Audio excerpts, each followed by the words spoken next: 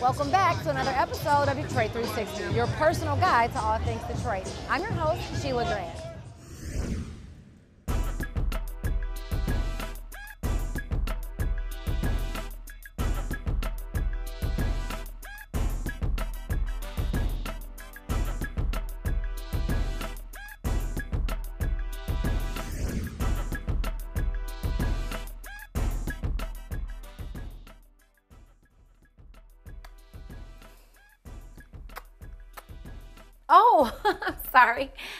Even see you there.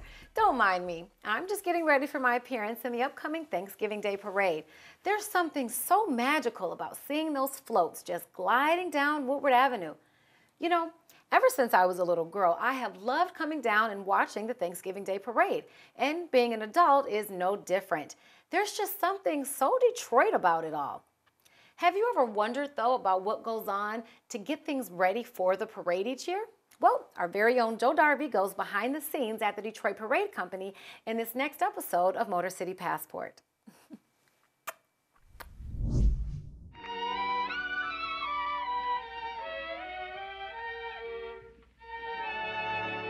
For the past 87 years, America's Thanksgiving parade has been iconic in the city of Detroit.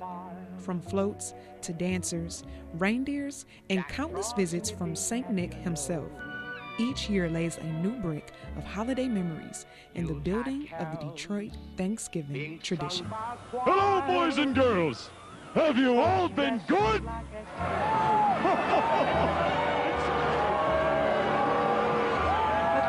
Santa,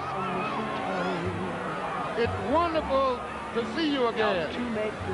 Each year, I give the key to the city to distinguished guests. Today, it's my great pleasure to give you the nicest key of all, the key to the hearts of boys and girls. They know that Santa's on his way. He's loaded lots of toys and goodies on his sleigh. And every mother's child is gonna spy. America's Thanksgiving Parade presented by Art Van. You may be familiar with it. Well, right now I'm standing in an iconic doorstep. This right here is Santa's workshop. Usually, at every Thanksgiving Day parade, Santa receives a key from the mayor of Detroit. Let's check out how exactly all of this is put together and why you should come and visit the parade company.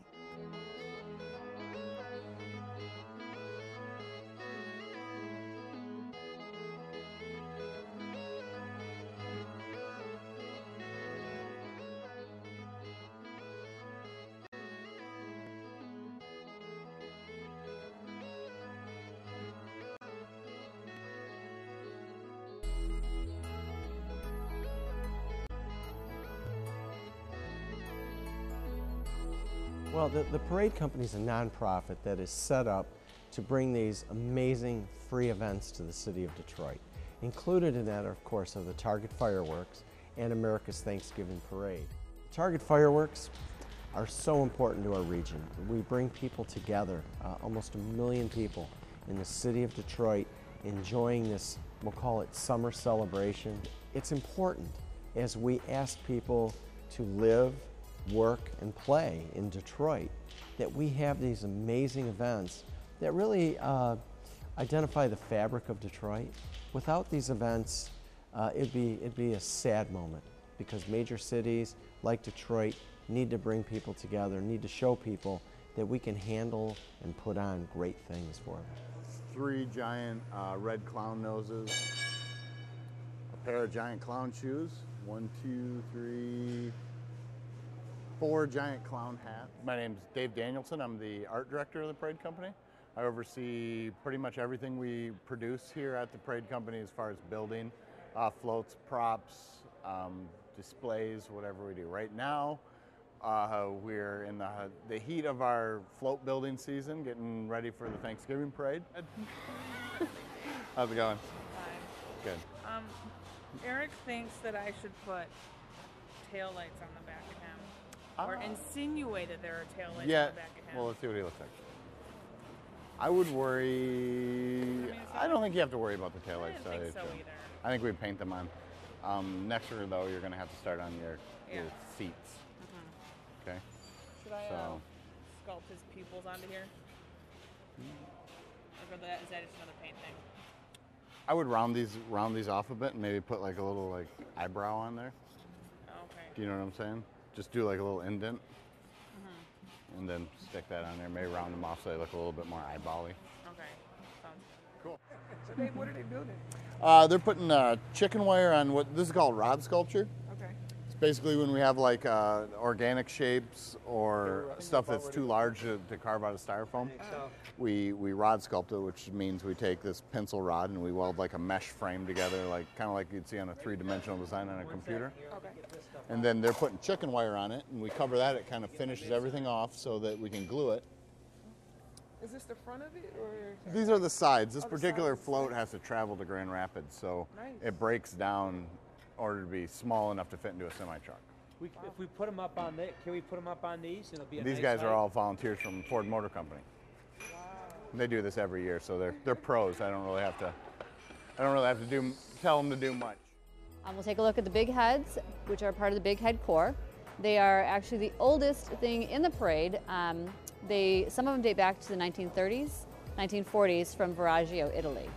Um, and they were, you can walk this way. Um, they are all done now in-house here, but back in the early days, they were sent over from Italy when Hudson's ran the parade.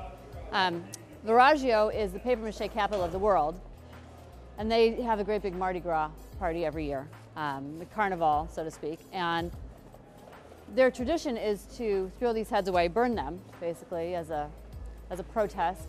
And instead of burning some of them, they would send them here to Detroit. We never knew what we were going to get from one year to the next. So when you see the group here, we have Keystone Cops, we have clowns, we have all kinds of different things. We have animals, we have bugs, we have different heads of different famous people. Um, some we, we now make them all here in-house. So everything for the last 10, 15 years or so we've made right here. And each year we do a new head. Last year was Gordie Howe. Year before that we did Sparky Anderson.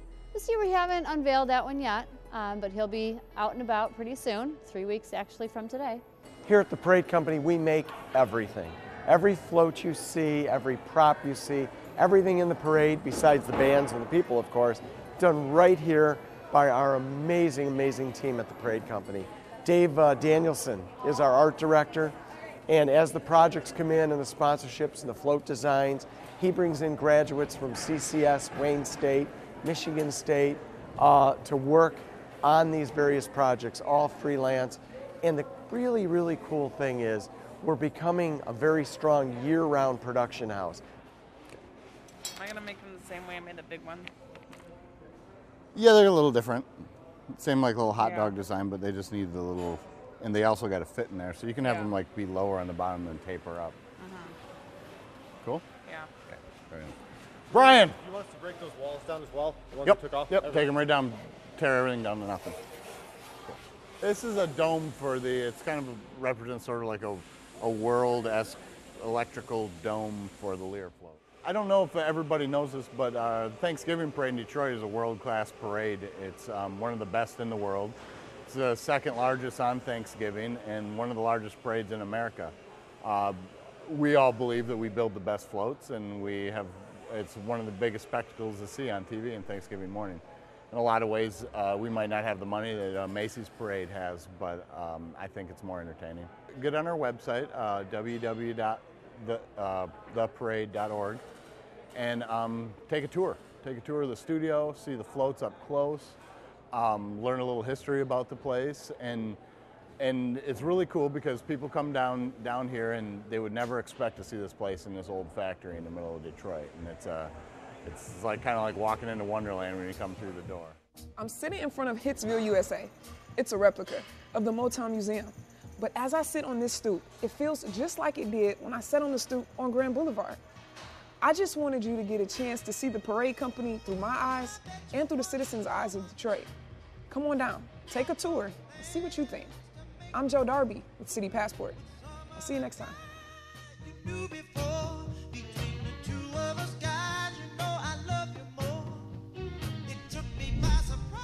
Hey guys, don't be shy. Saw saw you try to walk away. Lions fans, come on, hi, talk to me. You guys are going to the game? We are going to the game. All right. Did you have fun tailgating? What'd you do all morning? We did. We tailgated. Yes. Is this a tradition? Do you come down every week? No, a lot of the girls. This is well. He has season tickets. He's a true Lions fan. All right. But these girls, this is their first Lions game. Well, and they're camera shy. I don't know why they're ha- I don't know why they're hiding from over there, but that's okay. We'll talk to you guys. So you do tailgate all the time since you come to every game? Yes. Tell me what your tailgate consists of. It's different every time. Hot dogs, nachos, Doritos. So is it? that's your fourth meal. That's the that's the, important part. You know the good stuff. You got to hit the whole pyramid. Hi guys, how's it going? You talk to us for a second. All right. So are you down here tailgating or just heading down to the game? tailgating, but now I'm heading to the game. Do you guys tailgate down here every week or every home game? I mean, Yes, we do. Yes, we do. is it a family tradition? You with friends? Tell me about what you do when you're tailgating out here. Uh, it's family. We got seven tickets. There's seven of us. Only four today, but there's seven of us, and we come to all the games. We enjoy it. How many years have you been doing this? Uh, since '89. Well, it's down here since uh, what was it, 2002? That's longer than I've been alive, you guys. Yeah, thanks. I'm not that young. I'm just kidding. I'm just kidding. You got the tent, you got the TVs, you have all the food, you have literally everything and like this is this is Die Hard, so this is your tradition, and just like I know that the, the, the tradition is for the Lions to play every year on Thanksgiving. So, do you look forward to that game every year? Oh yeah, yeah, absolutely, absolutely, definitely look forward to it. You know, uh, it's Lions pride. Any any per- any anyone that's a fan of the Detroit Lions, they know. You know, the Thanksgiving game is like one of the biggest games of the year. No matter who we playing, no matter what the record are, you're going to be down here at the parade. You're going to be tailgating, and if you're going to the game, you're going to be at the game. Now, do you get a hard time from your family because you know that may creep into Thanksgiving dinner time going to the game, but that's secondary to the Lions playing, right? Yeah, Lions is priority, family is secondary. When it comes, with the exception of this only on Thanksgiving. And you know what? I, I'm I'm just here at the Lions game, no matter what. If I got to sit here by myself and eat my Thanksgiving dinner, I'm going to do it because I'm a Lions diehard Well, fan. thing, like a lot of the ladies would go. Like I would go to the game, my aunt would go to the game. Okay. And really, the- it was like maybe and then my cousins. The rest of the girls in the family really weren't into football, so they really would be like right, right, right, right. getting getting dinner ready. Exactly. It's super cold down here and it's raining, but I have had a blast tailgating so far for the Lions at the Eastern Market. I'm about to feed my face, watch this game, but I want you guys to stay tuned on this next piece for Detroit Classic, the tradition of the Lions playing on Thanksgiving Day. Girl, let's eat. all right, all right. When you think of Thanksgiving, you think of football, turkey, family, and the Detroit Lions.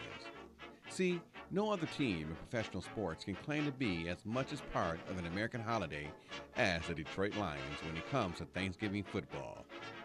The Thanksgiving tradition is older than 24 current NFL franchises, and Detroit's passion affair with the annual Thanksgiving Day game is evident by its growing popularity.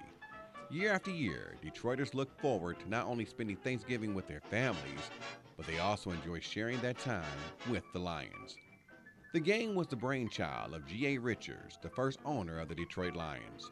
Richards had purchased the team in 1934 and moved the club from Portsmouth, Ohio to the Motor City. The Lions were the new kids in town and had taken a back seat to the Detroit Tigers. Despite the fact that the Lions had lost only one game prior to Thanksgiving in 1934, the season's largest crowd had been just 15,000. The opponents that day in 1934 was the undefeated defending world champion Chicago Bears, led by George Halas. The game would determine the champion of the Western Division. Richards had convinced the NBC radio network to carry the game coast to coast over 94 stations, and additionally, an estimated 26,000 fans jammed into the University of Detroit Stadium, where thousands more disappointed fans were turned away. Despite two Ace Gutowsky touchdowns, the Bears won the inaugural game 19 16, but a tradition was born. Since 1934, 69 games have been played with the Lions having a series record of 33, 34, and 2. And each game, in its own way, continues to bring back memories of Thanksgiving, not only to Lions fans, but to football fans across the world. It's time to come together, Detroit. This is our house, Lions fans. Let's make some noise. Come on, Lion fans. I can't hear you. On Thanksgiving Day, all the focus is on the three F's food, family, and football. In Detroit, the football part has even more meaning. Every year, people from all over Michigan get together with their loved ones to see their home team take part in the NFL's Thanksgiving Classic.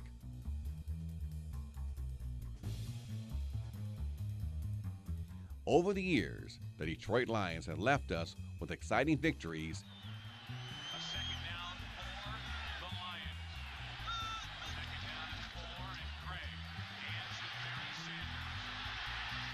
and heartbreaking losses. Down tied it with no time left on the clock. Murray's kick fielded by Williams at the five. Williams breaks out of the pack. Dave Williams to the 30. Touchdown, Each one leaving great memories to share with those closest to us. My most memorable moment with the Lions on Thanksgiving, I can't forget the infamous coin flip. I mean, that stands out um, with Jerome Bettis. You know, that was memorable with him being from Detroit and uh, playing in that game.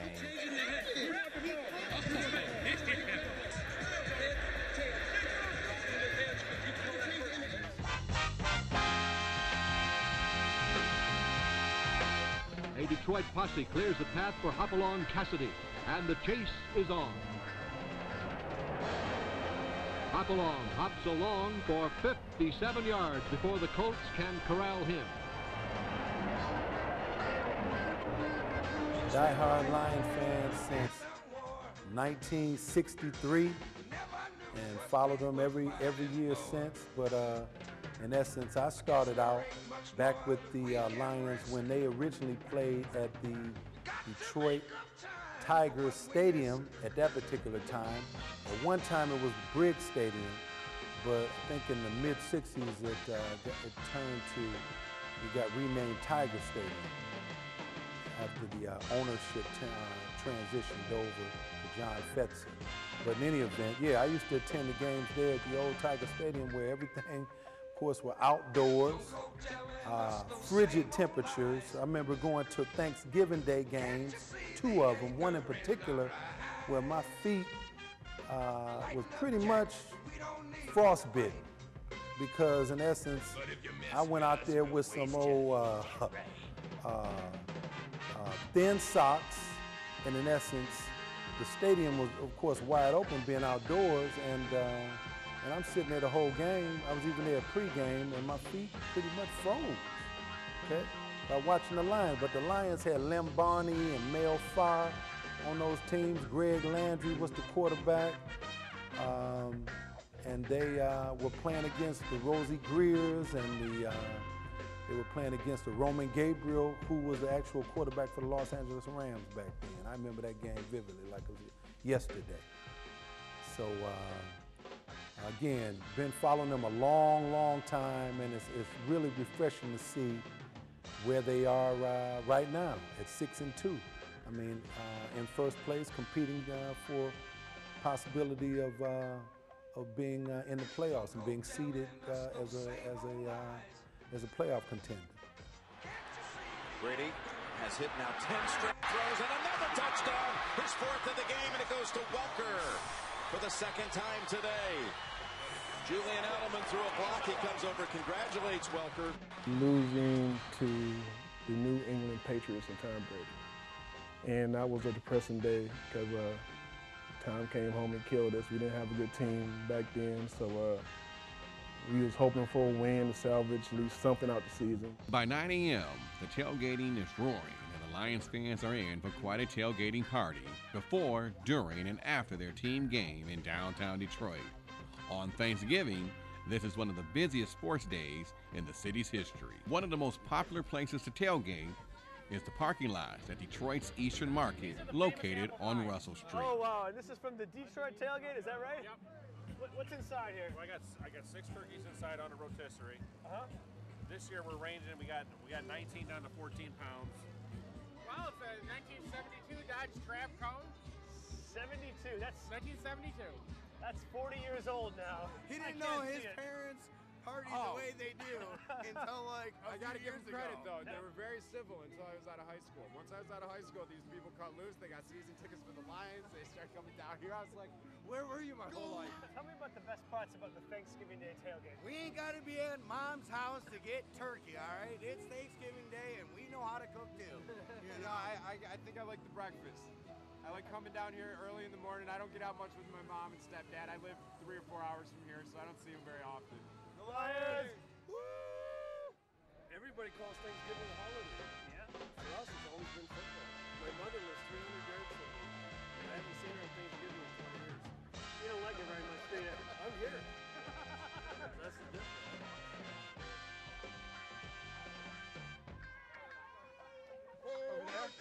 Okay. What do we with Shukr? Okay.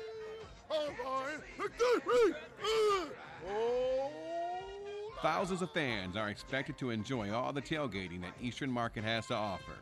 Food and camaraderie are a huge part of one of the Lions' fans' favorites and personal One of the rules about being commissioner is always being relaxed before the game. So, remember, when hot tubbing in Detroit, it's always before the meal and it's always before the game because then you can totally relax. Let's go Lions!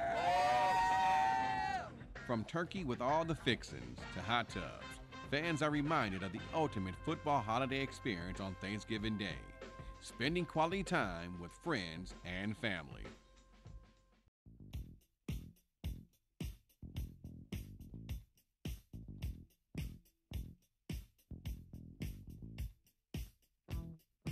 My little brother, he was an avid football fan. My older brother, we would go out after the game on Thanksgiving.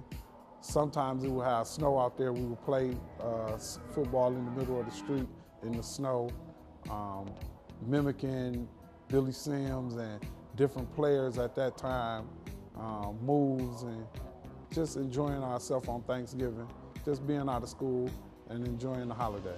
I normally sit at home with the family, you know, um, bring my mother over, uh, bring her home, and we sit down with the family and eat turkey and watch the Lions play. Uh, Thanksgiving and football is a tradition in Detroit because we always get the Thanksgiving game, so it's almost like a tradition. If you're not at the game, you're watching the game. And this year it's worth watching the game because they're good. They might go to the playoffs. Ever since I was a kid, it was always wake up, watch the Lions, play football in the backyard, and have family over eat turkey. And it's, a, it's an awesome thing for the Lions every year to be one of those teams that play on Thanksgiving. You get the publicity and have a national television game no matter what. And it's, it's, it is, it's what it is. It's tradition. And to have the Lions, you know, during the day, then you have the Cowboys at night every year. It's something that uh, I'm proud to say I'm from Detroit about. You know, the entire world, whether you like football or not on Thanksgiving, you're watching that football game because that's the only thing on is Lions football. My brother and I got the tattoo a couple of years ago, and it's it's a symbol as much as it is my love for the Lions because it's something that my brother and I got together. Uh, we'll always, you know, we're always going to be brothers, and we're always going to love the Lions. So uh, it was a symbol that we got together, and believe me, we've gotten a lot of stuff about it. I don't know how many times people told me after a Lions loss, you know, do you know any tattoo removal guys? But no matter what, whether the 0-16 or Super Bowl champions, I will have the tattoo on me. When I think about Thanksgiving, I always think about Lions football games. I spent many years in, uh, I spent 20 years in California, but I was still a Lions fan and took a lot of ridicule and a lot of uh, abuse uh, for that. But I remember every year knowing on Thanksgiving that I was still going to be able to see the Lions and, and sat down at Thanksgiving dinner watching the Lions play.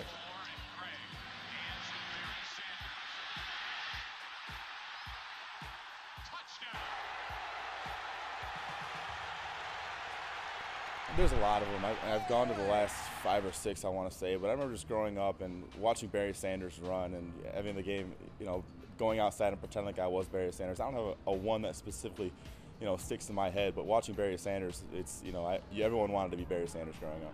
We start off the day usually trying to go to the Thanksgiving parade because I have a daughter who was born on Thanksgiving Day. So she still wants to go to parade even though she's 20 years old. Then we come home, we finish up our dinner, and then we get prepared to have the family come over. And we usually have dinner and we have some type of devotion.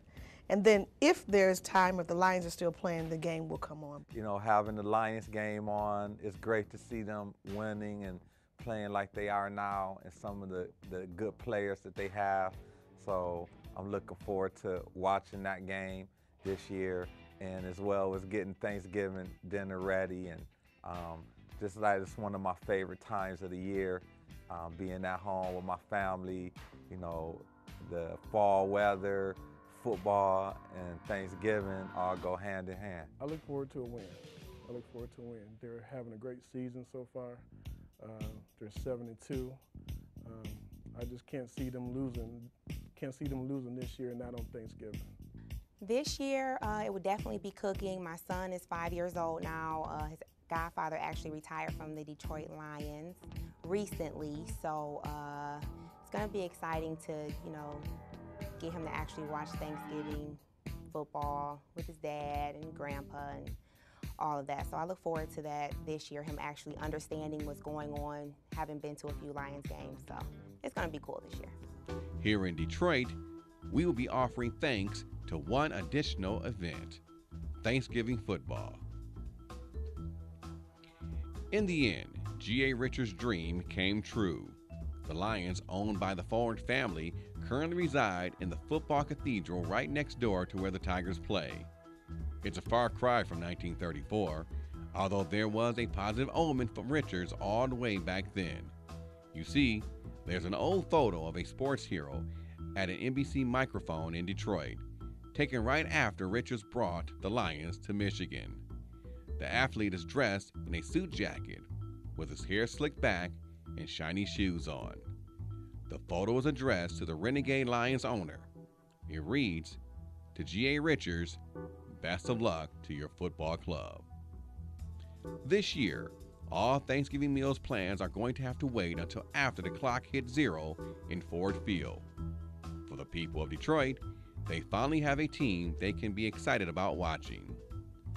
For those unaware, it was the Detroit Lions who started the tradition of playing football on Thanksgiving Day back in 1934.